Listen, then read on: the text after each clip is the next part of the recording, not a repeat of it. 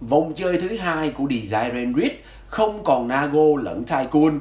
Cuộc chơi chỉ có Kiss và Buffa cùng với những rider mới. Bọn họ không đủ sức để chống lại thế lực của Yamato đang ngày càng hùng mạnh hơn, cũng như sự phá bỉnh từ Commander Punchak. Kẻ chỉ được nhờ vả để phá bỉnh Kiss. Điều này làm chệch hướng hoàn toàn ý định của Kem Master. Ông ta bắt buộc phải bổ sung thêm những rider cộm cán hơn, cân bằng lại thế song trụ với đám Yamato.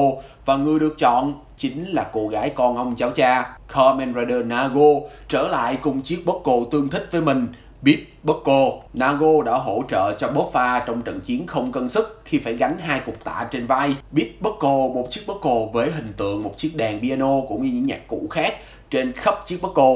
Nó kích hoạt một giai điệu, sau đó Nago sẽ được chuyển hóa hình dạng tương thích với cô. Âm thanh từ những cặp lo khổng lồ phát ra khắp chiến trường Tạo hình của Nago được bao phủ bởi tông màu đen, cũng như những chi tiết cột âm thanh, những cặp lo trên phần vai và những chi tiết khác trên phần tay của cô ấy. Vũ khí đặc trưng của hình dạng này của Nago là thanh Beat Arch. Đúng với tên gọi của nó, nó là một chiếc guitar điện. Khi sử dụng một cách khác, nó như một chiếc rìu để bổ đôi kẻ thù.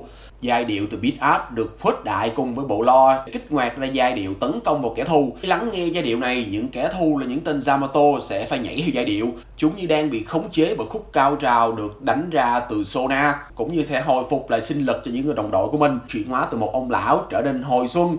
Điều này cũng thể hiện rõ sức mạnh từ âm nhạc được thiết kế riêng cho Nago, đây rõ ràng là chiếc bocco tương thích cho cô. Khi Beat Art chuyển hóa thành một chiếc rìu, Nago sẽ trực tiếp tham gia vào trận chiến. Kích hoạt những đòn tấn công đặc biệt sẽ ban cho cô những sức mạnh khác nhau, tăng cường khả năng cận chiến của Nago.